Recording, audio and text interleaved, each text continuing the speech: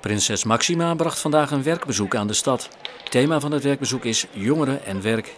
Maar Maxima werd eerst in het gemeentehuis ontvangen en kreeg uitleg over de nieuwe oostwand van de Grote Markt. In de mediacentrale op het Europapark sprak ze met jonge ondernemers en bij DSW Stadspark bezocht ze het project Groningen at Work. De dag werd afgesloten met een bezoek aan de universiteit en bij de opening van het studiejaar van de Hans Hogeschool. Buschauffeurs van Arriva dreigen met acties als de directie geen andere dienstroosters invoert. De huidige roosters leidden vorig jaar tot een rechtszaak. De rechter zei toen dat de dienstroosters in strijd waren met de CAO.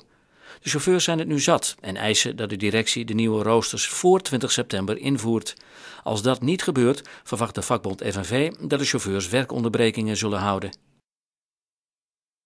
Nuon gaat de komende jaren gas leveren aan de gebouwen van de gemeente Groningen. Ook levert het bedrijf gas aan de gebouwen van de provincie en in diverse andere gemeentes in Groningen. De overeenkomst met de huidige leverancier Essent loopt eind dit jaar af. Essent en enkele andere bedrijven deden de gemeente ook een aanbieding, maar die van Nuon kwam als beste uit de bus.